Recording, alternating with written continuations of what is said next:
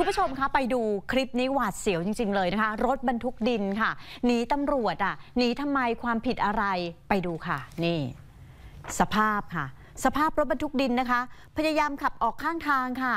และปรากฏว่ามีกระบะสองคันคาดว่าเป็นของเจ้าหน้าที่ฝ่ายปกครองนะคะ เปิดสัญญาณไฟจอดดักอยู่อะ แต่รถบรรทุกก็เร่งเครื่องควันดำปีเลยนะคะ แล้วก็พุ่งออกไปเลย รถเจ้าหน้าที่คันแรกรีบขับตามไปประกบค่ะ และขวางข้างหน้าเอาไว้นะคะ รถบรรทุกนี่ไม่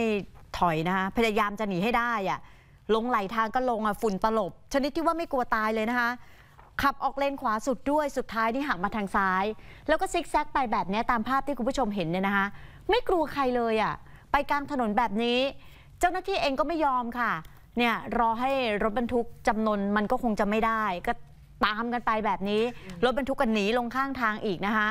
เออในเฮียขับรถเอามาให้ดูกัน แต่เขียนแคปชั่นว่ากูไม่เห็นเคยหนีพ้นสักตัว มึงเล่นเกมเยอะไปไง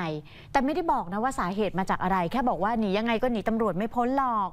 แต่คนในโลกออนไลน์อะพอเห็นคลิปนี้แล้วอะเขาก็เข้าไปคอมเมนต์กันนะคะ บอกว่าเป็นห่วงเจ้าหน้าที่ และกลัวว่าถ้าเกิดรถบรรทุกเร่งเครื่องชนอะมันจะคุ้มไหมคุณตำรวจ เขาก็กลัวไง บางคนเขาก็มาแย้งบอกคุ้มไม่คุ้มไม่รู้ แต่ถ้าไม่ตาม ก็จะโดนข้อหาละเว้นการปฏิบัติหน้าที่ แต่ไม่ได้บอกนะคะว่ารถบรรทุกดินคันเนี้ยเขาหนีทำไม เออทำผิดอะไร ใช่ กลัวอะไรขนาดนั้นอะอืมเออ